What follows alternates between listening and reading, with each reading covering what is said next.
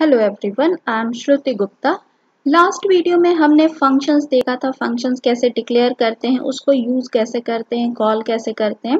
आज हम देखने वाले हैं recursive function inline function and function overloading की ये चीज़ें क्या हैं। तो सबसे पहले बात करते हैं रिकर्सिव फ़ंक्शन की। रिकर्सिव फ़ंक्शन क्या होता है? ये ऐसे फ़ंक्शन होते हैं जो अपने आप को कॉल करते हैं। नॉर्मली हमने देखा था कि एक फ़ंक्शन को दूसरे फ़ंक्शन में कॉल किया जाता है, लेकिन recursive function self calling functions होते हैं जो अपने आप को कॉल करते जाते हैं। और कोई ना कोई ऐसी कंडीशन दी जाती है ताकि ये कॉल स्टॉप हो सके। तो ये काफ़ी एफिशिएंट होता है। कम लाइन ऑफ़ कोड में हम इस तरह के फ़ंक्शंस लिख सकते हैं, लेकिन अगर उसे ढंग से ब्रेक नहीं किया जाए रिकर्शन को तो कहीं ना कहीं ये प्रॉब्लम क्रिएट करती है और इन्फिनिट लुक में फ़ंक्शन चला जाता है। जैसे यहाँ देखें तो रिकर्सिव फ़ंक्शन कैसे यूज़ हो रहा है। सपोज़ एक फ़ंक्शन है रिकर्स फ़ंक्शन और मेन फ़ंक्शन में हम उसको कॉल कर रहे हैं। और आप यहाँ देख सकते हैं कि रिकर्स फ़ंक्शन अपने आप को ही कॉल कर रहा है, लेकिन यहाँ कोई कंडीशन दी जाती है ताकि ये कभी ना कभी ये रिकर्शन स्टॉप हो सके। तो ये फ़ंक्शन अपने आप को ही कॉल करता है। तो प्रैक्टिकली एक प्रोग्राम के थ्रू देखते हैं कि रिकर्शन कैसे पॉसिबल होता है। यहाँ मैंने एक रिकर्सिव फ़ंक्शन बनाया है फैक्ट फ़ंक्शन जो अपने आप को कॉल करके फैक्टोरियल कैलकुलेट कर रहा है। तो सिंपल ये फैक्ट फ़ंक्शन है, जिसमें हम इंट वैल्यू पास कर रहे हैं as an argument and return value भी इसकी इंटीजर है। फैक्टोरियल कैलकुलेट करके वैल्यू रिटर्न करेगा इंटीजर टाइप में। और मेन में एक नंबर हम इनपुट करा रहे हैं x में और x के वैल्यू का हम फैक्टोरियल निकालना चाहते हैं। तो यहाँ y equal to fact x, मैंने फ़ंक्शन को कॉल कर लिया। अब फ़ंक्शन में चले तो फ़ंक्शन को आप समझे क्या हो रहा है यहाँ। X की वैल्यू कहाँ कॉपी हो गई? N में। यानी x में अगर मैंने 3 पास किया तो n की वैल्यू क्या हो गई? 3 अब इस फ़ंक्शन के अंदर का एक कंडीशन दी है, अगर n equal to equal to one हो, अगर मैंने थ्री पास किया तो ये कंडीशन फॉल्स होगी और हम कहा चले आएँगे? एल्स पार्ट में। एल्स पार्ट में हम क्या कर रहे हैं? N into fact n minus one यहाँ आप देख सकते हैं कि ये फ़ंक्शन अपने आप को कॉल कर रहा है, ये अपने आप को कॉल कर रहा है, लेकिन नंबर की वैल्यू धीरे धीरे डिक्रीज होती जा रही है। n माइनस वन यानी अगली बार जब यह फ़ंक्शन कॉल होगा तो n की वैल्यू क्या होगी? टू होगी। फिर जब टू से ये लूप में एंटर करेगा तो n माइनस वन यानी टू माइनस वन एन की वैल्यू वन होगी। और अगर n की वैल्यू वन हो गई तो यह रिटर्न क्या करेगा? वन यानी थ्री का फैक्टोरियल हम कैलकुलेट कर तो three into two into one इस तरीके से ये इंटरनली अपने आप को कॉल करता जाएगा और फाइनली एक कंडीशन ऐसी होनी चाहिए कि जब ये रिकर्शन ब्रेक हो जाए तो इफ़ कंडीशन वही काम कर रहा है कि जब n की वैल्यू वन के इक्वल हो जाएगी तो वन रिटर्न करेगा और यही वैल्यू अगले में मल्टीप्लाई हो जाएगी। अब इस फ़ंक्शन को हम रन करके देखते हैं। तो यहाँ कोई नंबर मैं डाल रही हूँ फाइव तो आप देख सकते हैं फाइव का फैक्टोरियल 120 जो बिल्कुल सही है। दूसरा कोई नंबर डाल लें सपोज़ वन डाल दूँ मैं तो देख सकते हैं इसका फैक्टोरियल वन ही आ रहा है। इसी तरीके से अगर थ्री डाले तो इसका फैक्टोरियल सिक्स आ रहा है, यानी परफेक्टली काम कर रहा है हमारा ये फ़ंक्शन फैक्टोरियल फ़ंक्शन में हमने देखा कि हमने कोई नंबर पास किया, लेकिन वो अपने आप को कॉल कर रहा था और नंबर की वैल्यू उससे एक कम हो जा रही थी। फिर फैक्टोरियल की वैल्यू फोर हो रही थी फोर इंटू अगले नंबर को हम पास कर रहे थे, यानी n माइनस वन होता जा रहा था। इस तरीके से फाइनली जब फैक्टोरियल की वैल्यू वन थी, यानी नंबर में वन पास हो रहा था तो वह फैक्टोरियल वन रिटर्न कर रहा था, जो इनमें आपस में एक दूसरे से मल्टीप्लाई होता जा रहा था, और फाइनली हमारा फैक्टोरियल कैलकुलेट हो जा रहा था। अब बात करें इनलाइन फ़ंक्शन की C++ में एक बहुत इंपॉर्टेंट कॉन्सेप्ट है इनलाइन फ़ंक्शन का, ताकि जब हम फ़ंक्शन कॉल करते हैं तो कंट्रोल को एक जगह से दूसरी जगह जंप करना पड़ता है। यानी कॉलर फ़ंक्शन से वो कॉलिंग फ़ंक्शन में जाता है और वापस कॉलिंग फ़ंक्शन के स्टेटमेंट्स को एग्जीक्यूट करने के बाद वो कॉलर फ़ंक्शन में आता है। तो इस तरीके से एग्जीक्यूशन में थोड़ा सा एक्स्ट्रा टाइम लगता है, क्योंकि कंट्रोल एक जगह से दूसरी जगह शिफ्ट होता है, वापस वहाँ आता है। तो इसको दूर करने के लिए एक इनलाइन फ़ंक्शन का कॉन्सेप्ट इंट्रोड्यूस किया गया है, जहाँ फ़ंक्शन कॉल फ़ंक्शन कोड से रिप्लेस हो जाता है। लेकिन फ़ंक्शन इनलाइन फ़ंक्शन वैसे ही जगहों पे इम्प्लीमेंट किया जाता है या यूज़ किया जाता है, जहाँ फ़ंक्शन की कोडिंग बहुत कम हो।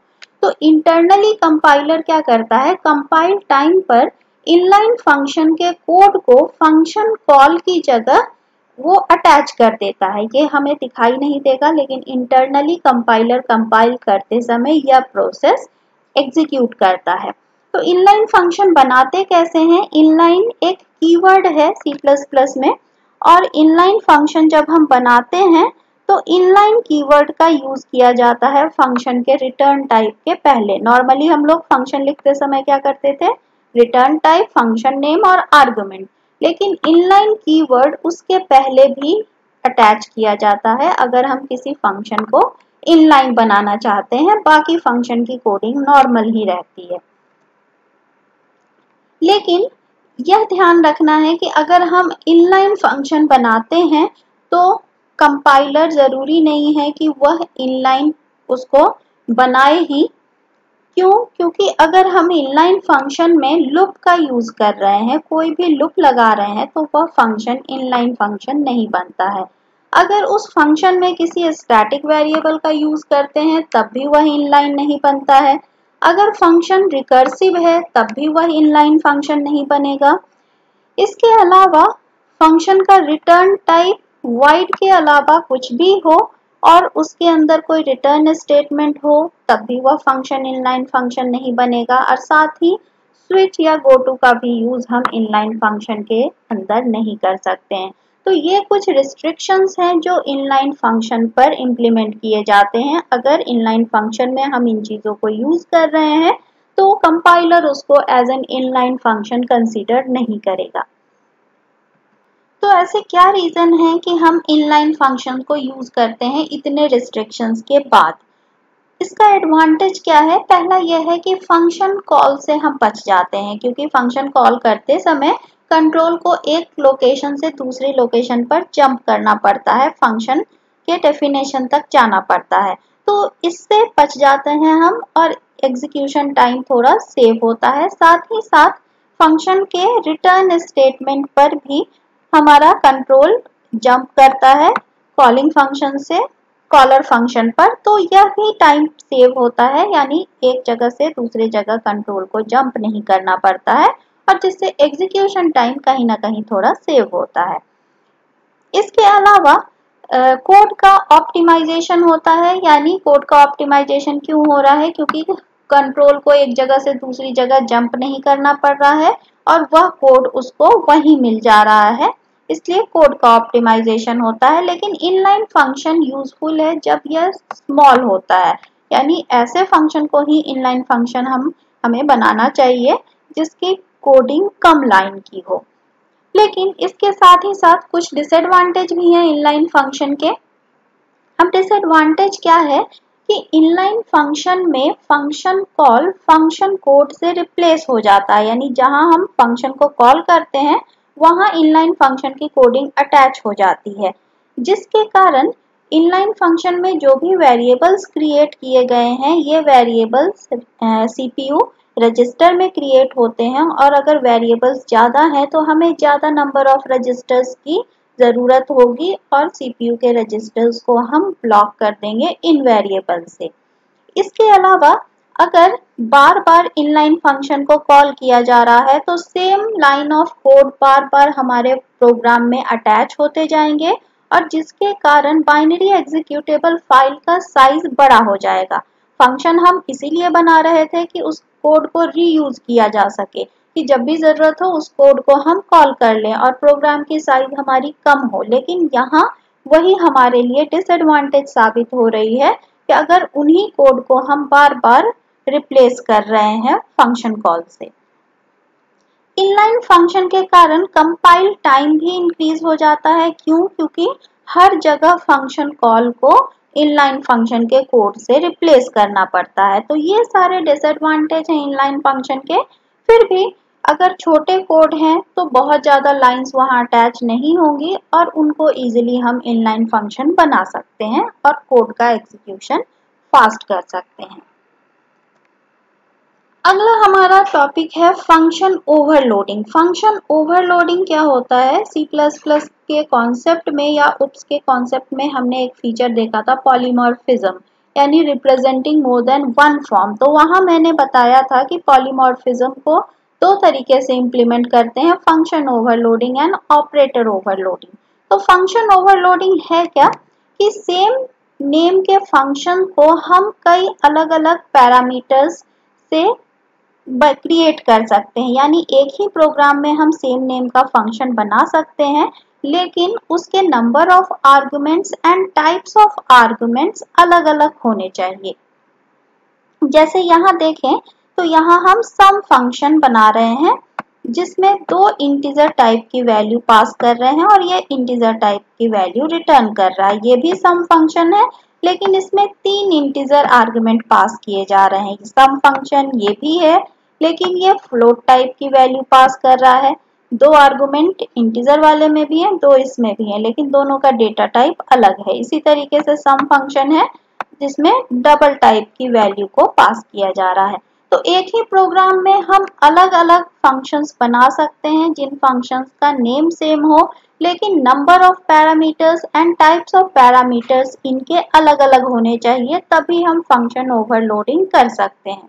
तो एक प्रोग्राम देखते हैं फ़ंक्शन ओवरलोडिंग का, ताकि ये कॉन्सेप्ट बिल्कुल क्लियर हो जाए। यहाँ एक फ़ंक्शन ओवरलोडिंग का प्रोग्राम बनाया है, जिसमें देख सकते हैं एरिया फ़ंक्शन दो फ़ंक्शन हैं एरिया नाम के ही। लेकिन एक एरिया में मैं सर्कल का एरिया कैलकुलेट करना चाह रही हूँ तो वहाँ हमें सिर्फ़ रेडियस की ज़रूरत है। तो यहाँ एक आर्गुमेंट पास कर रही हूँ फ्लोट टाइप का। यानी इसमें फ्लोट टाइप की वैल्यू पास करेंगे। जो रेडियस होगा और यह फ़ंक्शन सर्कल का एरिया कैलकुलेट करेगा। इसी तरीके से एक और एरिया फ़ंक्शन बनाया है, जिसमें दो इंटीजर आर्गुमेंट पास करेंगे। यहाँ मैं रेक्टेंगल का एरिया कैलकुलेट करना चाह रही हूँ, इसलिए दो वैल्यू पास करना चाह कर रही हूँ। इसी तरीके से आप चाहें तो एक और एरिया फ़ंक्शन डिफाइन कर सकते हैं ट्रायंगल के एरिया कैलकुलेट करने के लिए और उसमें तीन आर्गुमेंट पास कर सकते हैं। तो यहाँ मैंने दो फ़ंक्शन लिया है सेम नेम का। लेकिन देख सकते हैं number and type of arguments अलग अलग हैं। और मेन फ़ंक्शन में मैं रेडियस एंटर करा रही हूँ, जो फ्लोट टाइप का है, और फ्लोट टाइप की वैल्यू ये फ़ंक्शन रिटर्न करेगा। तो एरिया फ़ंक्शन को पास कर रही हूँ, और इसमें फ्लोट टाइप की वैल्यू को पास कर रही हूँ। तो ये किस एरिया को कैलकुलेट करेगा? फ़र्स्ट वाले को, क्योंकि इसके अंदर सिंगल आर्गुमेंट पास हो रहा है, और यह फ्लोट टाइप की वैल्यू को पास कर रहा है। तो यह किसका एरिया कैलकुलेट करेगा? सर्कल का। इसी तरीके से दो आर्गुमेंट एंटर करवा रहे हैं हम एल एंड बी और दो आर्गुमेंट एरिया के अंदर पास कर रहे हैं। तो यह सेकेंड वाले फ़ंक्शन को कॉल करेगा, जहाँ दो इंटीजर पैरामीटर पास करना था और वो रेक्टेंगल का एरिया कैलकुलेट करेगा। अब यहाँ फ़ंक्शन डेफिनेशन में देखें तो दोनों फ़ंक्शन के लिए डेफिनेशन लिखी है। पहला एरिया है ये, जो रेक्टेंगल का एरिया कैलकुलेट कर रहा है, दो इंटीजर वैल्यू पास हो रही है और उनको आपस में मल्टीप्लाई करके एल इंटू बी करके वैल्यू रिटर्न हो रही है। और ये फ़ंक्शन है जो सर्कल का एरिया कैलकुलेट कर रहा है तो पाई आर स्क्वायर फॉर्मूला लगा के, यह कैलकुलेशन करके सर्कल का एरिया रिटर्न कर रहा है। इसको हम कंपाइल करके देखें।